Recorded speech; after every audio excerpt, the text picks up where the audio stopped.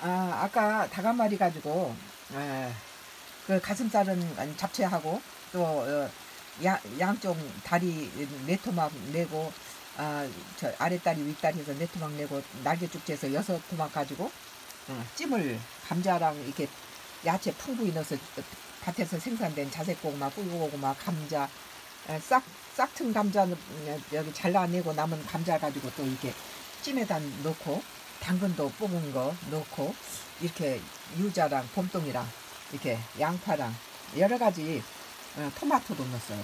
토마토랑 이렇게 넣어서 지금 닭찜을 맛있게 하고 있는데요.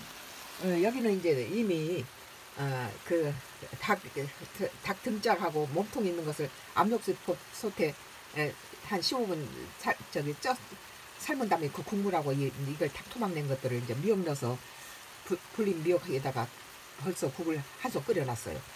어, 잡채는 이제 이따 저녁 때그 잡채해서 먹으면 되- 되겠어요.